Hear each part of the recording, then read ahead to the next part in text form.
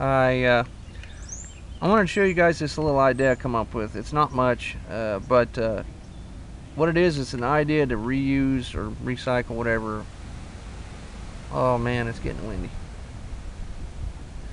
Anyway, it is an idea to reuse, recycle, whatever, uh, something you might have laying around the house, whatever. I know a lot of people are on medications these days, but uh, it's it it's what I like to call pill bottle survival or pill bottle fire kits. Okay, there's not much to it. It's a pretty simple idea.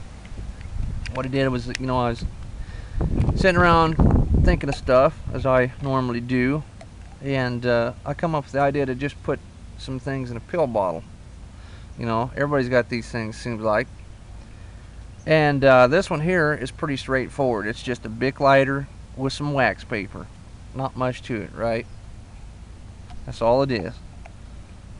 You stick it in there. I mean, you can put other stuff in there, obviously, which makes it nice. And obviously, there's more different sizes of pill bottles. But anyway, uh, the what I found out about pill bottles is uh, they're not waterproof, uh, but they are a little bit water resistant and they will float.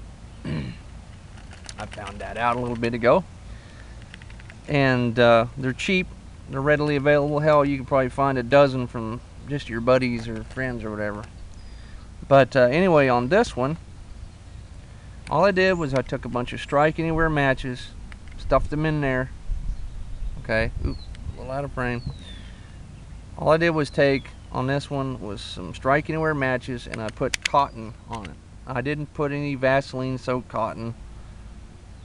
You know, I didn't want to make a mess. But the the most of the, the the biggest reason for the cotton was to just keep the matches from you know grinding against each other and just kind of rolling around. So keep them from making noise, stuff like that. But anyway, um, I imagine you know if you wanted to put some Vaseline soaked cotton balls in the top of this or something, you know that would increase your waterproof ability for the matches. And then you can put anything in here. You know, you can put your little fishing kit or your band-aids or whatever it is you want to put in there.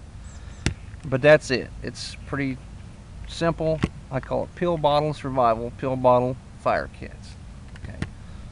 And this, I just wanted to show you all this offensive, see look, offense.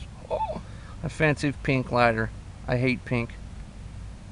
I don't know. They say pink's for girls, but the one benefit is nobody's going to steal my damn lighter.